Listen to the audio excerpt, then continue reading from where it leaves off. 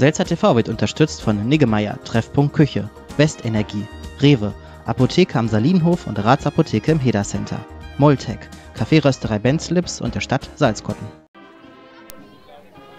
Ferla ist um eine Attraktion reicher. In der Dorfmitte im Schatten des Bürgerhauses steht seit dem Vorabend des 1. Mai ein stattlicher Maibaum. Zwölf Meter hoch und verziert mit vielen Zunftzeichen.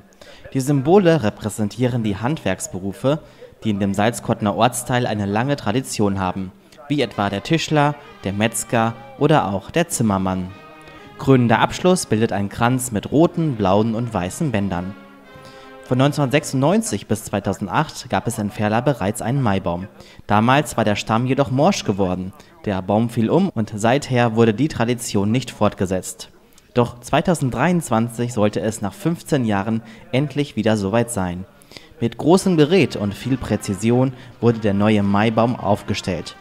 Die Initiative dazu hatte der neu gegründete Verein Maibaumfreunde Ferla.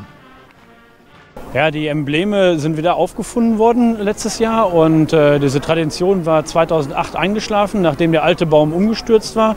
Und es haben sich ein paar gefunden, die dann gesagt haben, wir wollen mal wieder was fürs Dorf machen. Nach dem Kreisschützenfest ist nicht viel passiert, haben erstmal geruht und jetzt möchten wir ganz gerne wieder Tradition alt und jung zusammenbringen. Das Maibaumsetzen ist nicht nur im Lippedorf Ferla eine Tradition, sondern auch in vielen Teilen der Republik, vor allem in Bayern. Die Ursprünge des Maibaumbrauchtums sind immer noch ungeklärt bzw. umstritten. Häufig genannt werden germanische Riten. Die Germanen verehrten Waldgottheiten, denen sie in verschiedenen Baumriten huldigten.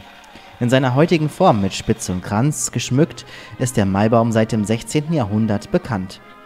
Und nun auch wieder ein Teil der Fellerer Dorfgemeinschaft, die den tatkräftigen Männern ihren Einsatz mit Applaus dankte.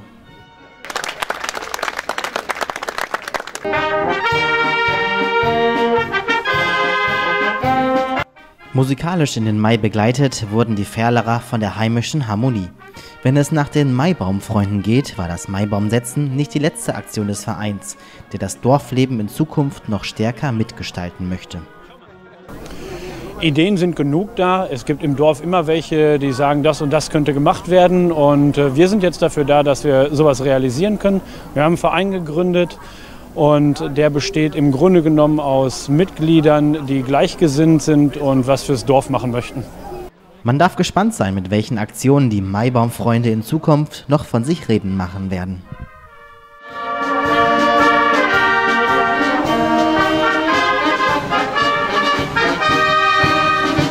Selzer TV wird unterstützt von der Tanzbar Wechselschritt, der Stadt Geseke, dem Schuhhaus Zehanschuk, der Firma MEG, der Dienstleistungsgruppe Salzkotten, der Bäckerei Lange und der Volksbank Büren Salzkotten